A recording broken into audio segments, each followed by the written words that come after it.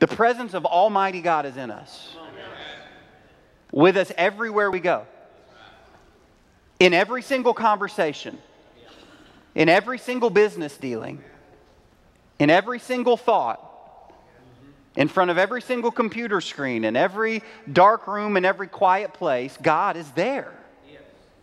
And that awareness should change the way we live his continual presence in our life. And so Moses tells them very specifically here that God's presence should impact three areas of their life, and they're very specific uh, to the time in which they were living, but they have very practical applications for us today. He starts in the most important place, and that's worship. So we should practice God's presence in worship. He starts there in verse 1. He says, uh, talks about people who should be excluded from the assembly, excluded from the worship service. Now, again, this is going to sound harsh, but it sounds harsh because God takes this more seriously than we take it. And God had very specific rules because we have to remember that God was working in physical pictures. That with the people from the physical mark of circumcision for the covenant, covenant to the way that they, they had certain instruments and things set up within the temple, everything was painting a picture of redemption, the covenant, and the promise. And so he says that, that worship is about him and that we should take it very seriously.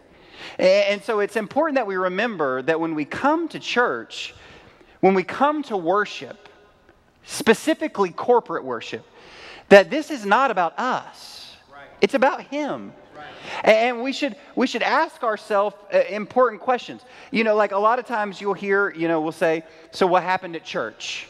And then we've got a kind of a normal list that we go through. What happened at church? Well, we got there and we had Sunday school and they had they had the good donuts this week. They didn't have the crummy donuts and the coffee was good. And they sang two songs that I liked and one song that I don't like. And the message was good and the temperature was okay. I had to park kind of far away, but and, and it's sort of just this running list.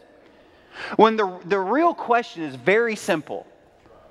It's how was church today? Either God was pleased or he wasn't.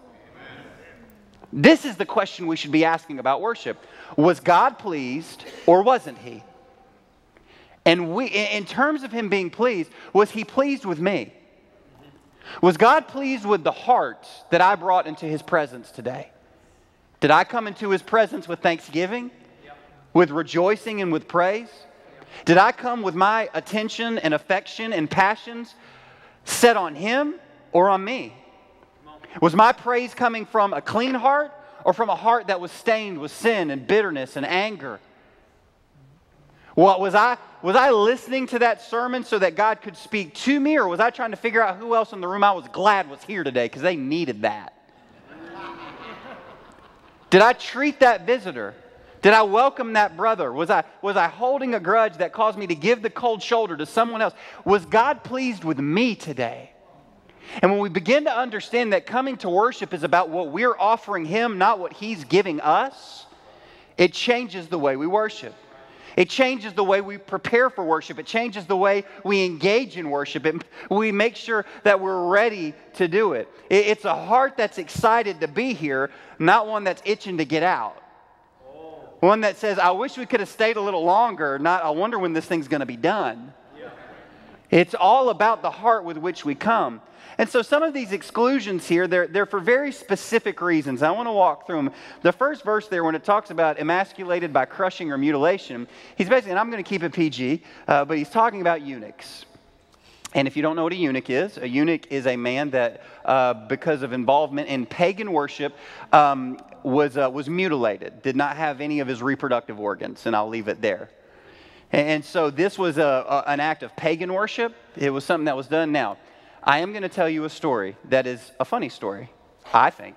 Um, and there are certain stories, I've had this story for a long time, and there are just some stories you have to wait for the right moment to tell, and it's actually appropriate for this passage of Scripture. When I was in, you're like, holy moly, where are we going? All right.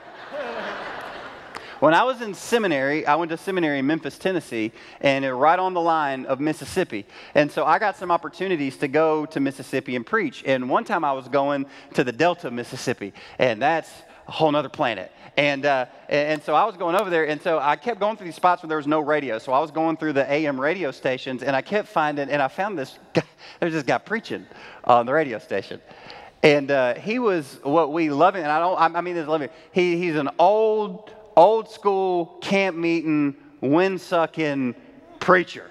I'm talking like, let's get uh, and uh, uh, and and so it took me, it took me about five minutes to to cue in my ears. Right, I was just trying to get going, and he kept saying something. I couldn't figure out what he's talking about because he kept talking about an oonch, and he kept talking about this oonch, and then finally it dawned on me, and then he re- he said the Ethiopian oonch, and I realized he's talking about a eunuch.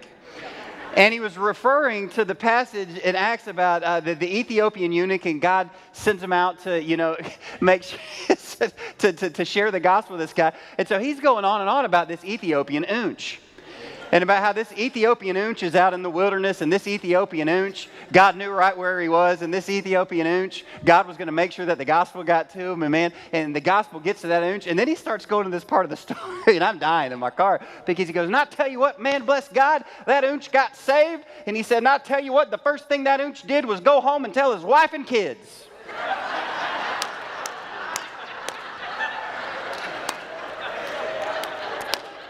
Now, if you don't know why that's funny, you can ask Brother Herb after the service and he'll tell you. And uh, so, anyway,